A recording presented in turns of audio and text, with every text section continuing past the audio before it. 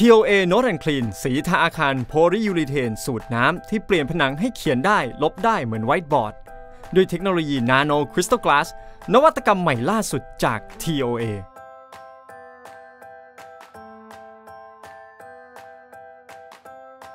ก่อนเริ่มต้นการทาสี TOA Note and Clean ควรวัดพื้นที่ก่อนการซื้อผลิตภัณฑ์ เพื่อให้ทราบขนาดที่เหมาะสมกับการใช้งาน เมื่อทราบขนาดพื้นที่แล้ว อุปกรณ์ที่ต้องเตรียมมีดังต่อไปนี้ สี TOA Note and Clean ซึ่งแบ่งเป็น 2 ส่วน ได้แก่ Part A และ Part B ถาดรองลูกกลิ้งสี ลูกกลิ้งขนสั้น พร้อมก้านลูกกลิ้งแบบเปลี่ยนตัวลูกกลิ้งได้ ไม้พายสำหรับผสมสี แปลงทาสีขนาด 2 นิ้ว คัตเตอร์ เทปกระดาษกาว กระดาษทราย TOA เบอร์ละเอียดอุปกรณ์ป้องกันระหว่างทาสี ได้แก่ ถุงมือ ผ้าปิดปาก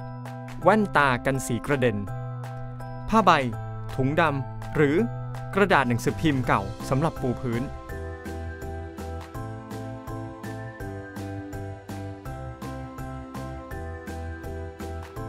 สวมอุปกรณ์ป้องกัน เปิดหน้าต่าง ประตู หรือระบบระบายอากาศ เพื่อช่วยเรื่องการแห้งและเซตตัวของฟิล์มสีให้ดียิ่งขึ้น หลีกเลี่ยงการเปิดพัดลมโดยตรงไปยังพื้นผิวที่เพิ่งทาสีเสร็จ และอย่าลืมศึกษาคู่มือการใช้งาน รวมถึงข้อควรระวังก่อนการใช้งานทุกครั้ง TOA Note and Clean จะทำงานได้เต็มประสิทธิภาพที่สุด พื้นผิวต้องเรียบ ดังนั้นการเตรียมพื้นผิวจึงเป็นขั้นตอนสำคัญ การปรับพื้นผิวให้เรียบสามารถทำได้ด้วยกระดาษทราย TOA DCC เบอร์ละเอียด หรือหากพื้นผิวมีความขรุขระมาก ควรฉาบให้เรียบด้วย TOA 102 D Code จากนั้นใช้กระดาษกาวติดกรอบพื้นผิวที่ต้องการทาสี โดยอาจใช้เศษกระดาษรองก่อนติด เพื่อป้องกันสีเลอะหรือย้อยเปื้อน แล้วเช็ดพื้นผิวให้สะอาดจากฝุ่นผงด้วยผ้าแห้ง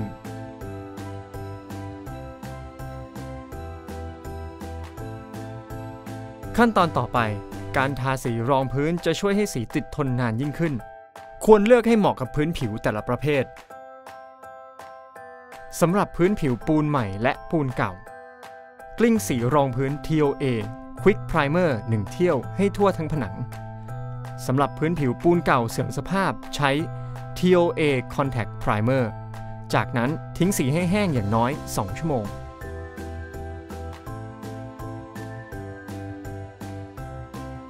สี TOA Note and Clean เป็นสีชนิด 2 ส่วนผสมกัน การผสมสีเพื่อใช้งาน เริ่มจากเทผลิตภัณฑ์ part B ลงในกระป๋อง part A จนหมด จากนั้นผสมน้ำเปล่าประมาณ 20%หรือ 1 กระป๋อง part B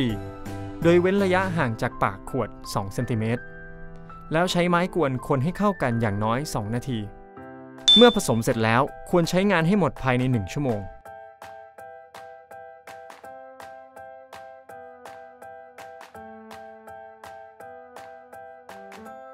ในการใช้ผลิตภัณฑ์ควรแบ่งพื้นที่เป็นส่วนๆ กว้างประมาณส่วนละ 1 เมตร ต่อการทำงานแต่ละครั้ง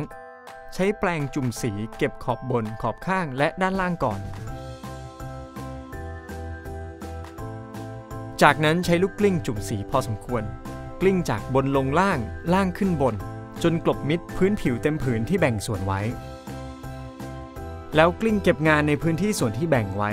จากบนลงล่างไปในทิศทางเดียวกัน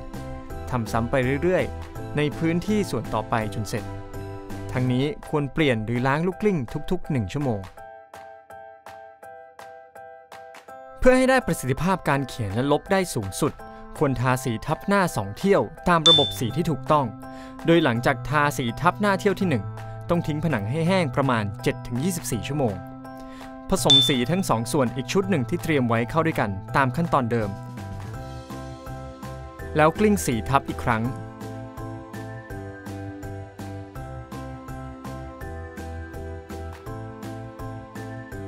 รีบลอกเทปกาวออกทันทีตอนที่สียังเปียกอยู่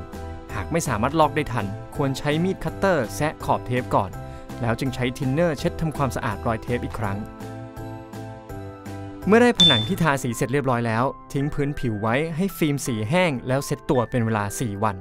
โดยอาจติดป้ายเตือนจนครบ 4 วันหลังทาเสร็จ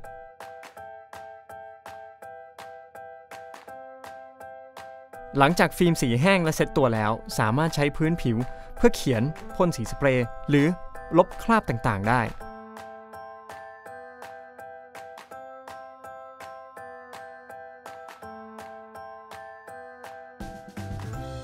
สำหรับปากกาไวท์บอร์ดชนิดลบได้ สามารถลบได้โดยง่ายด้วยทิชชู่ หรือผ้าไมโครไฟเบอร์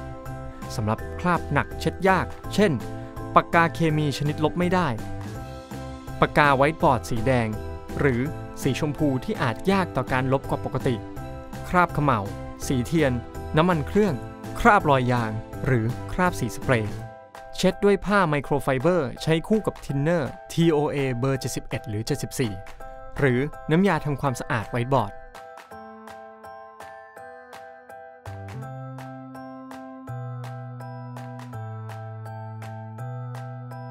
สอบถามข้อมูลเพิ่มเติมที่ TOA Call Center Service โทร 02